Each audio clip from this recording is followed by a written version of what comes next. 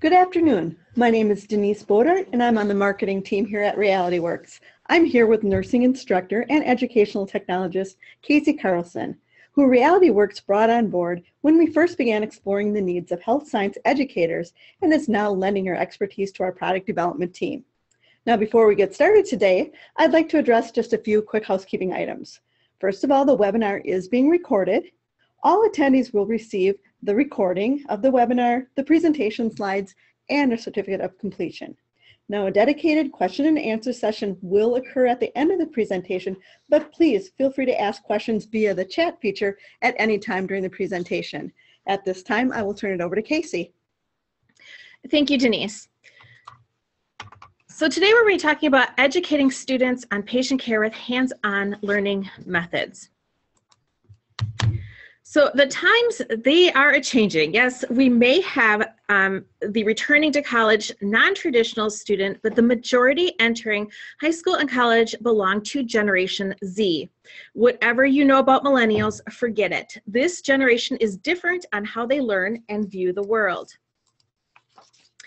This generation is very tech savvy. While millennials are seen with two screens, Generation X can go between five screens.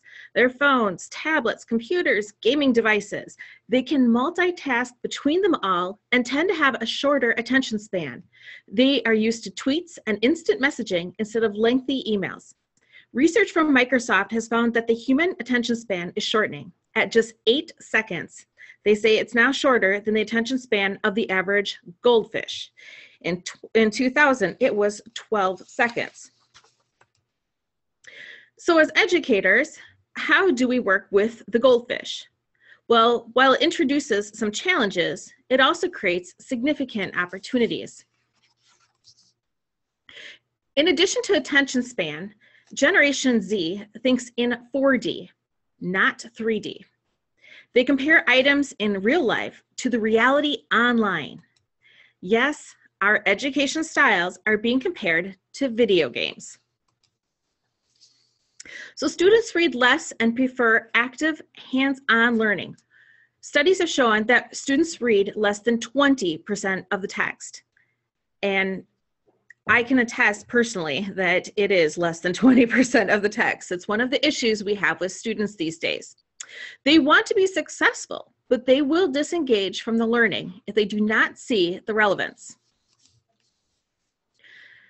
So Generation Z views the internet and online resources as knowing more than the teachers.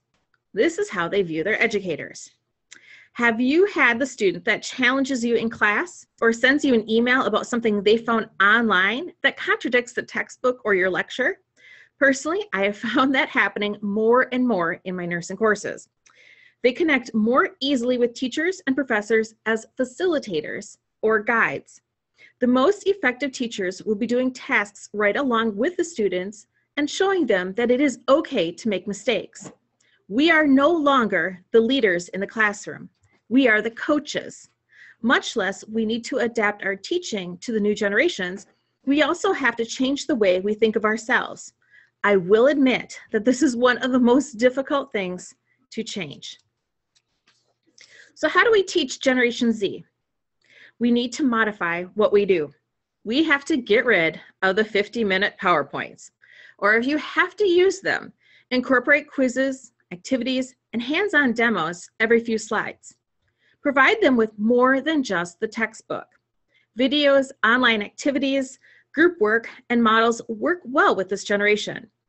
Use a variety to keep their attention and give them an experience. Be flexible in your teaching methods and the way you communicate with the students. So why is as important as what? This innovative concept of the golden circle was presented by Simon Sinek in his TED Talk, Start With Why. I believe this rings true for healthcare students. They know the what and love to learn the how, but rarely grasp the why until they're out in practice. Consider teaching from the inside out. Answer the why question with evidence-based reasoning before teaching the how. They want to know how to apply concepts to real life, and this will ensure it. Another aspect we need to concentrate on as educators is the soft skills. Students will come to you with varying levels of these skills.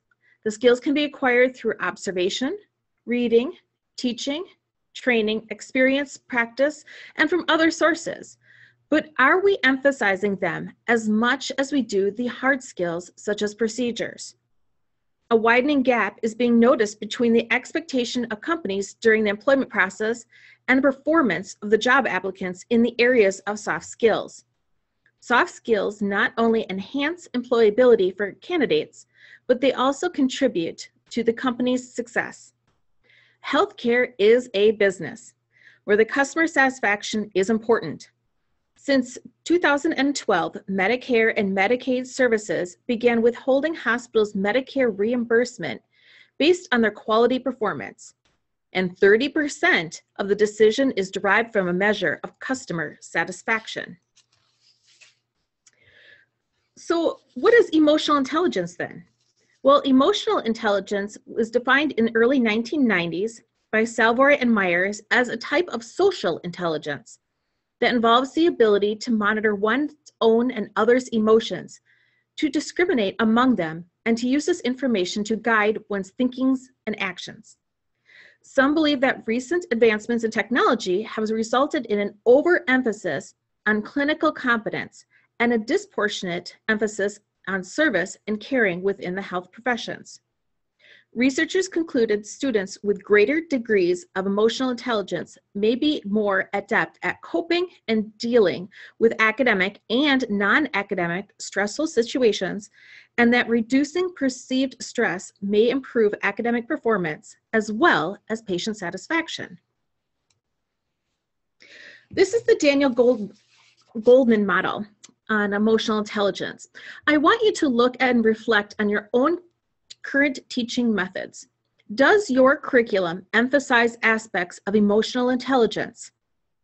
How can we as educators teach and promote emotional intelligence in a hands-on way? So let's discuss some options. Simulation is the imitation of the operation in a real world process or system over time. All simulations need a type of model. The International Nursing Association for Clinical Simulation and Learning has developed standards of best practice in simulation. In order to provide an evidence-based, hands-on experience, the standards suggest the following steps. As an example, we will use this Shaken Baby simulator from RealityWorks. This Shaken Baby simulator is a powerful demonstrator um, and used in child abuse prevention courses, childbirth, prenatal, and parenting classes, health occupations, and family consumer sciences classes. The clear head with the LED lights depicts how an infant's brain is affected by a few seconds of shaking. So now, now let's apply those standards. First, we need to perform a needs assessment to provide evidence that this simulation is needed. As we all know, shaken baby syndrome is an issue in society. So the needs assessment for this was already predetermined.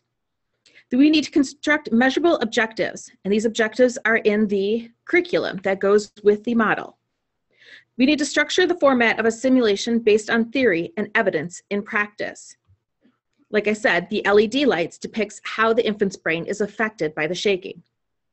Then you need to design a scenario or maybe a case study to provide the context for the simulation-based experience. Once again, this is provided in the RealityWorks curriculum.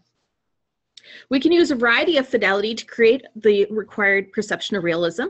So you note that there's not only the, the clear head, but also a real uh, life-size baby and life-size skin. And then maintain a facilitated approach that is participant-centered and begin the simulation experience with an introduction and end with a reflection. A lot of this is involved in the curriculum. So, which is better, low or high? There are two main categories in simulation, low fidelity and high fidelity. Low fidelity are realistic models that mimic areas such as anatomy and physiology.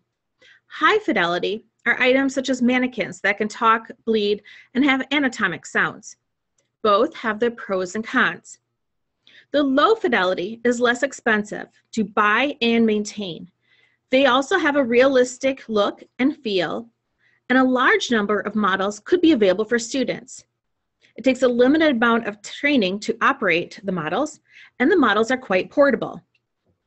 But they're not as fancy and realistic as the high fidelity ones. But high fidelity models are very expensive and upwards of, and well over $100,000. They also have the realistic look and feel. They're more techy for students, but also for faculty. Students are excited about the high fidelity, but they can develop negative feelings if they didn't learn anything. High is sometimes used more as an assessment tool versus a practice tool and can be more intimidating than low fidelity. With high comes a fear factor. Is my patient going to code? In my experience, low fidelity seems to fit better for new concepts and the first year students. High fidelity seems to be less intimidating to upperclassmen. And we can use them to mimic things in a clinical setting, such as emergencies. So research by Goldstone explored the development of critical thinking for students who received instruction using high fidelity patient simulation versus low fidelity patient simulations. They also, there's also research out there on empathy and increasing, uh, empathy increasing as well as both types of fidelity. So both groups showed an increase in critical thinking skills despite high and low fidelity, but there was no statistical significant difference between the two groups. The key is to use the appropriate types of fidelity that create the required perception of realism that will allow participants to engage in a relevant manner. So remember that you are creating an experience. You are competing with those video games. You need to set the stage for the experience by introducing the concept in a simple way based on the previous level of experience. So here's a time that you can work on your soft skills. We need to encourage the students to communicate with each other. It promotes teamwork and confidence in communicating with each others especially in peer-to-peer and group activities. I know students do not like to do group work, but it seems more receptive if it is shorter in time. In my class, we use pair and share, which means you pair up with the person next to you and you either share what you've learned or perhaps answer or discuss some questions. Since sometimes there are no exciting models to touch, we need to provide them and the students a scenario that causes them to critically think and it challenges them. For example, the RealityWorks healthcare products come with focus activities that students complete before the content is presented. Educators have a choice to review anatomy and or complete an empathy activity. So here is an example of a focus empathy activity. The students are told to read the following scenario where they imagine that they have been just diagnosed with diabetes the healthcare provider tells them that they'll have to give themselves a subcutaneous insulin injection three times a day based on a blood sugar level for the rest of their lives. They cannot skip a dose. We ask them to reflect on the situation. How do you feel about giving yourself injections three times a day? And then how do you think this would impact your social life, your school life, your work life? And then share your thoughts with a peer. This is a great example of that pair and share. There are multiple ways to provide the content then. The key is to keep it short and change it up. This is more challenging though if you're presenting online. Tell a story. Answer the question, where will I use this in real life? Remember the why is more important than the what. Ask questions at crucial moments. What would you do if? Organize your presentation into clear points. For example, in nursing, we use the nursing process. Design the PowerPoint for education and not distraction. Treat your students like adults, not kindergartners. Do not read from your slides because students need practice listening to another person. Use visuals to ground abstract ideas. This is a great time to introduce the models like a great reveal. Make them excited to practice. So demonstrations are the attention grabbers. They're an excellent way to teach students to use new equipment or to teach the steps in a new process. They are also effective in teaching safety skills and common pitfalls. Allow students to practice and have that hands-on experience as you coach them. They will make mistakes, and it is important to encouraging them to be successful. Combined with the opportunity for questions and answers, this is a powerful, engaging form of training. But don't forget the instructions. Students remember more by doing. However, make sure they're practicing the correct way if they are practicing outside of the class, such as in a lab setting. Here is a sample of instructions on how to give a subcutaneous injection from one of our Reality Works curriculums. Please note that washing hands is a step. If it's not in the instructions, most students will not do it. So what makes a good model? Well, we know it has to look and feel real. You know when you have had a good model, when the students buy into it, they like it. Maybe say how cool or maybe gross, disgusting it looks, and then they treat it like real anatomy. Some of the most realistic models I have seen are being used in the military for combat medical training. I looked at those and said, why can't we have that in healthcare? Second, the model needs to do what it says it'll do. If it's real, it will work. And third, it matches your curriculum. You can take the best looking model, but if you cannot use it or the students need to still pretend with it, it is not the best choice. When I started nursing school years ago, we used an orange as the model to practice injections on. And as students, we thought that was innovative, okay? But then we started to see models that looked like actual skin. And then we thought that was amazing. But nowadays, we have the ability to build a better model that replicates the layers of the skin as well.